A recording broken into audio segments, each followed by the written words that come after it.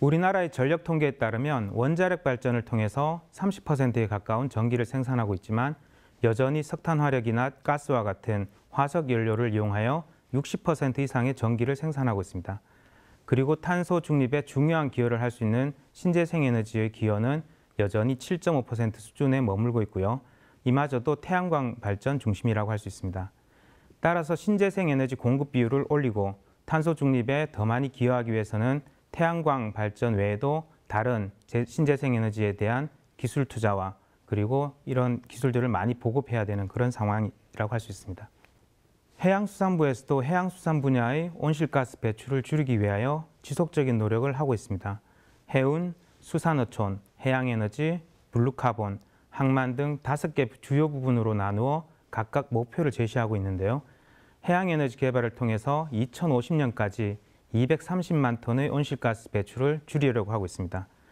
해양수산 분야 전체 어, 탄소 배출 절감 목표인 324만 톤의 약 70%를 해양에너지 보급을 통해서 줄이려고 하는 것이죠. 따라서 우리나라의 조류, 조력, 파력, 해양에너지의 기술 개발과 보급이 매우 중요한 어, 시점이라고 할 수 있습니다. 오늘 저는 해양에너지 가운데 조류 발전과 관련된 내용을 말씀드리고자 하는데요. 먼저 조류는 어떻게 발생하는 것일까요? 조류는 조석 현상에 의해서 발생하는 바닷물의 흐름입니다. 조석 현상은 지구의 원운동에 의해서 발생하는 원심력과 지구와 달, 그리고 태양 등 천체 사이에서 발생하는 인력에 의해서 해수가 올라가고 내려가는 현상입니다. 이 가운데 원심력은 모든 지점에서 크기와 방향이 일정하지만 인력은 달과 태양의 위치에 따라 달라집니다.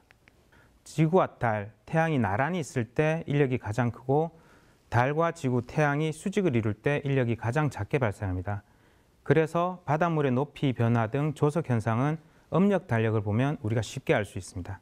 조석 현상에 의해서 바닷물의 높이가 올라가거나 내려갈 때 주변에 있는 바닷물이 이제 이동하게 되는데요. 즉 흐름이 생기는 것이죠. 이때 섬이 많고 수로가 좁은 해역에서 속도가 빨라지게 됩니다.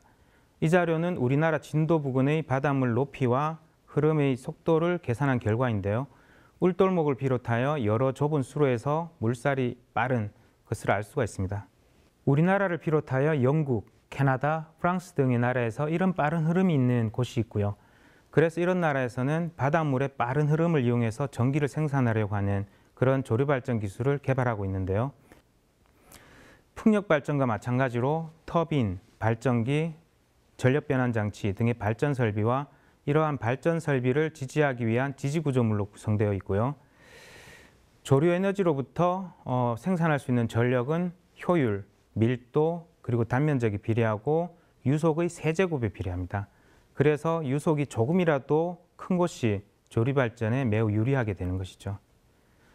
그리고 바닷물의 밀도가 공기의 밀도보다 800배 이상 크기 때문에 어, 발전기의 크기가 같은 용량이라고 할 때 조리 발전기가 작습니다. 핫클립 재밌게 보셨나요? 대한민국 과학 전문 방송 YTN 사이언스의 유익한 콘텐츠를 더 보고 싶으시다면 여기, 여기를 누르시고요. 또 구독도 부탁드려요.